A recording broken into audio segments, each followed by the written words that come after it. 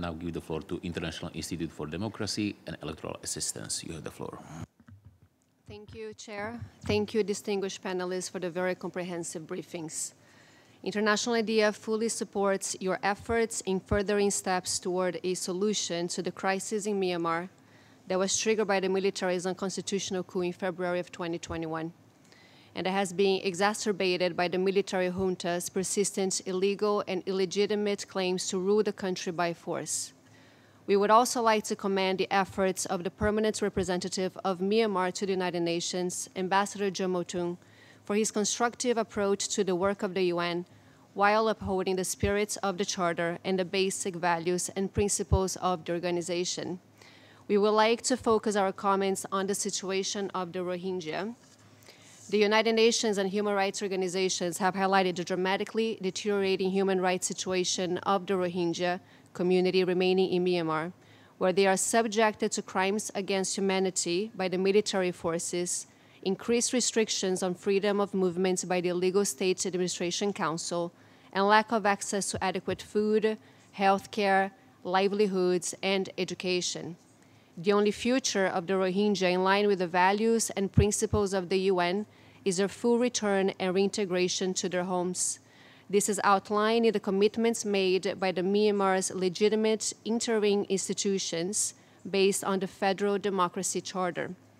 Two and a half years after the coup, the National Unity Government's efforts in translating its commitments to the Rohingya into action in consultation with the Rohingya community are worth noting.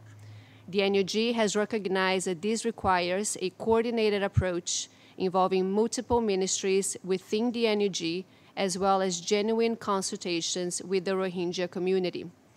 Moreover, the Rohingya community itself must be supported in its efforts to create institutional structures while ensuring that they are indeed inclusive and representative and build capacities to enable them to be supported while ensuring that they are, participate, they are participating in the interim institutions currently discussing Myanmar's future constitution and federal system. We would also like to emphasize that any future democratic elections in Myanmar should only be held when the conditions are right and with the full inclusion of the Rohingya and other minority groups. Furthermore, elections organized by the military junta cannot be considered legitimate and should not be supported by an international community.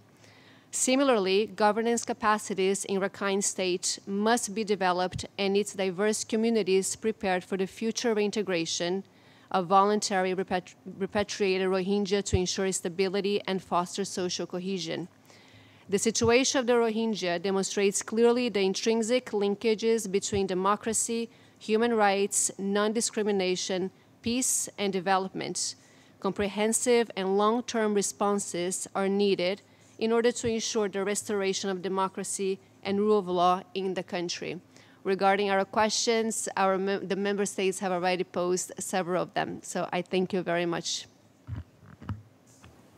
I thank the distinguished representative of International Institute for Democracy and Electoral Assistance. Colleagues, we have heard the last speaker.